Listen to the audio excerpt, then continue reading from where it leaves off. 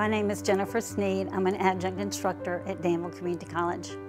I'm not sure I would have went on to college had I not been able to come here because the classes were small. It was convenient to my home, although I don't live in Danville, but it was just a perfect fit for me as far as size and convenience. The greatest benefits are, of course, the savings, financial issues, also the small sizes of the classes, you can get more one-on-one -on -one instruction, and I think you get more help than you would at some of the larger colleges. I tell students today, I told, told students when I taught, start at the community college, especially if you don't know what you want to major in, because you save a lot of money. You go take these classes, oh, I don't want to do that. So to me, the community college is the place to start regardless. It's definitely helped my earning power because as an educator, we, we're not at the top of the pay scales.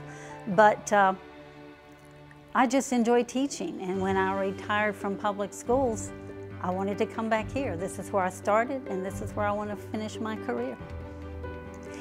If you enjoy going to school, if you enjoy working with young people or children, I would say education is definitely a career to look at.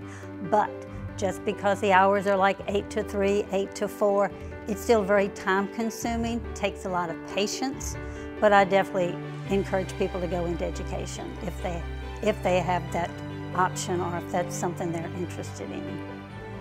We had a saying one time, DCC is the place to be.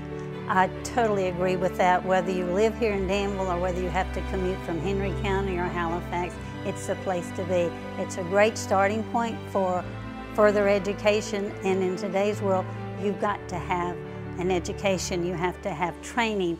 You don't have to be a doctor or a lawyer, but you need to be a welder, a plumber, electrician. Today, of coming out of school and going right to work and supporting the family, they're gone. So I always encourage people to go to school. And to me, this is the place to be.